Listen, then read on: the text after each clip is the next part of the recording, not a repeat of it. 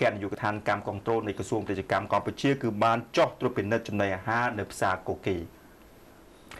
អគ្គនាយកដ្ឋានកម្មគ្រប់គ្រងនាព្រឹកថ្ងៃទី4បាទខែសីហានេះគឺបានចោះទៅពិនិត្យដោយផ្ទាល់ចំពោះចំណីអាហារនៅផ្សារកូគីនៅក្នុង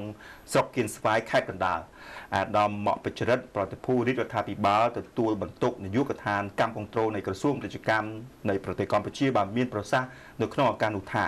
នៅថ្ងៃនេះមន្ត្រីកម្មគ្រប់គ្រងបានចុះមកផ្សារកូគីដើម្បីត្រួតពិនិត្យមើលថាតើបងប្អូនអាជីវករ មានលក់ចំណីអាហារលាយសារធាតុសារជាតិគីមីដែរឬទេ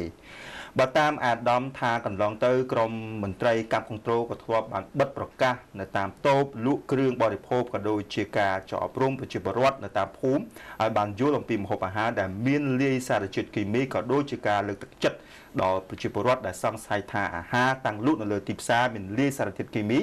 ដោយយក មកឲ្យមន្ត្រីកម្មគនត្រូលធ្វើការត្រួតពិនិត្យហើយក្រមមន្ត្រីនឹងចេញការចំណាយផ្សេងផ្សេងឲ្យទៀតផងជាមួយគ្នាអាដាមម៉ាក់បច្រិតក៏បានអំពាវនាវផងដែរដល់អាជីវករលក់គ្រឿងបរិភោគទាំងអស់ឲ្យប្រកាន់នូវភាពសុចរិតបញ្ចប់ការលក់ដូរម្ហូបអាហារដែលមានលាយសារជាតិគីមីព្រោះវានឹងធ្វើឲ្យប៉ះពាល់ធ្ងន់ធ្ងរដល់សុខភាពប្រជាពលរដ្ឋគូបញ្ជាក់ថាសេចក្តីថ្លែងនេះគឺបានធ្វើឡើងក្រោយពីមានសេចក្តីរាយការណ៍ជាបន្តបន្ទាប់ ពីការរកឃើញចំណីអាហារដែលមានលាយសារជាតិគីមីតួយ៉ាងដូចជាការរកឃើញការពីពេលថ្មីថ្មីនេះនៅឯប៉ោយប៉ែតពីងៀតគោនាំចូលពីវៀតណាមដែលគេធ្វើពីផ្លាស្ទិកជាដើមបាទ